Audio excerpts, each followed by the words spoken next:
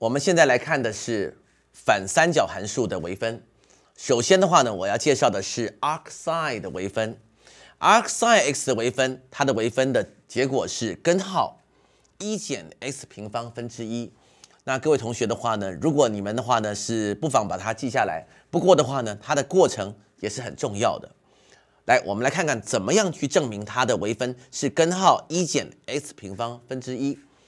那么我们首先的话，第一件事，我们必须要怎么做呢？arc sin 我们不了解，但是的话呢，我们也比较了解的是 sin，所以的话呢，我们必须要怎么做呢？第一步，我们先写了 sin arc sin 的 x，这个是等于什么呢？这是 x。这是有范围的啊，各位同学要知道的话呢，arc sin x 的话呢，这个的话呢，范围是它是在负一到一之间。好，这个范围的话，就算我们的话呢没有写没有关系，我们至少的话呢要知道这个等式。现在的话呢，下一步要怎么做呢？我们要利用这个叫做合成函数的微分，来，我们开始来微分了。这是 sin 的。一个函数，这个等于 x 的话，我们两边同时微分，sin 的微分是 cosine，然后里面是照抄的，arcsin x，再乘上里面的微分，里面的微分的话呢是 arcsin 的微分，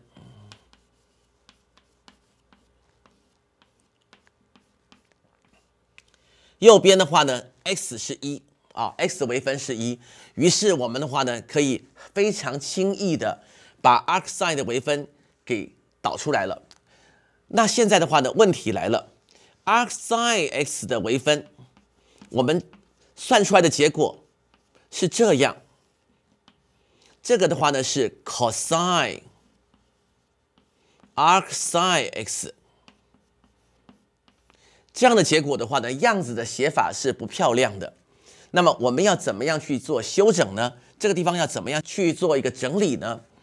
那么我们现在首先来，我们要思考一个问题：sin 是什么意思？来，我们来解释一下。sin 的话呢，来，我们的话呢写在这边。sin 的话呢，它是一个将一个角度对应到一个数字的。那么 arcsi 呢，它是相反，它是 x 的话呢对应到。角度，于是我们就这么想了，arcsin x 本身来说它是一个角度，那么我们就令令什么呢？令这个叫做西塔好了。来，我们的话呢就这么说了，我们令西塔是等于 arcsine x。来，我们来画一个三角形。三角形来看一下，西塔是 arcsine x，也就是所谓的 sin 西塔是多少呢？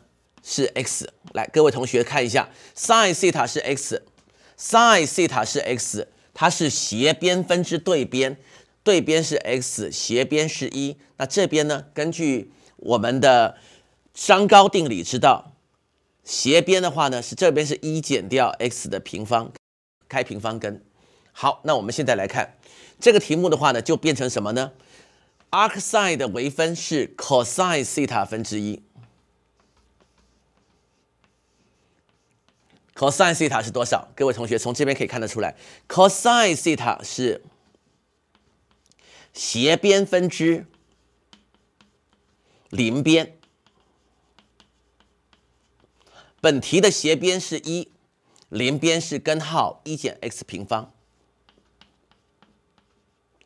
那么我们可以就知道了，arcsin 的微分就是 cos 西塔是这个，叫做根号。一减 x 平方分之一，那么我们就证明了这个结果。